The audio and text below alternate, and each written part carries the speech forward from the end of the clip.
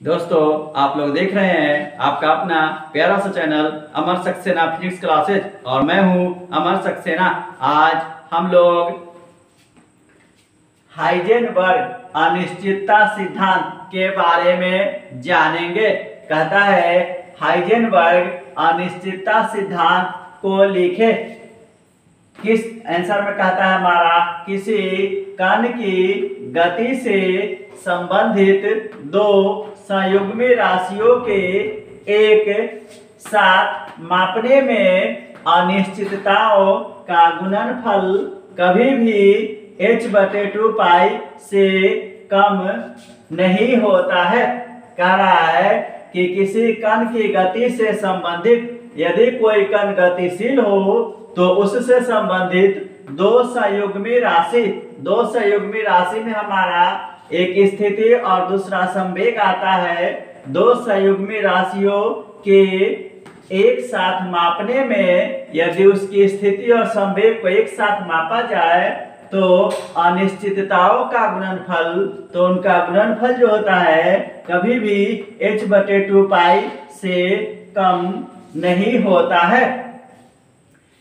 कहता है, माना कि किसी कण का x अक्ष की दिशा में स्थिति डेल्टा x तथा संवेग डेल्टा p हो तो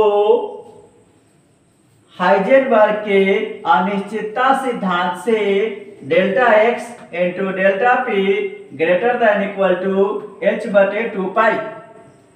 कहता है कि डेल्टा x और डेल्टा p का मान जो होगा हमेशा h बटे टू पाई से अधिक होगा। ये जो हमारा है डेल्टा x और डेल्टा पी ये दोनों गुणनफल है, कहता है जहाँ h प्लांक नियतांक है। कहता है यदि h बटे टू पाई को h कट के रूप में निरूपित किया जाए तो delta X into delta P greater than equal to H cut. जहाँ एच कट बराबर एच बटे टू पाई। कहता है, इस समीकरण से स्पष्ट है कि किसी कण की स्थिति की अनिश्चितता डेल्टा एक्स को कम करने पर उसके संवेग की अनिश्चितता डेल्टा पी का मान बढ़ जाता है। इस समीकरण में अगर हम किसी एक का मान कम करते हैं तो दूसरे का मान बढ़ जाता है। अगर डेल्टा एक्स का मान कम करते हैं तो डेल्टा पी का मान बढ़ जाता है। अर्थात यदि स्थिति को शुद्धता से मापा जाए तो संवेग के मापन में शुद्धता कम हो जाता है।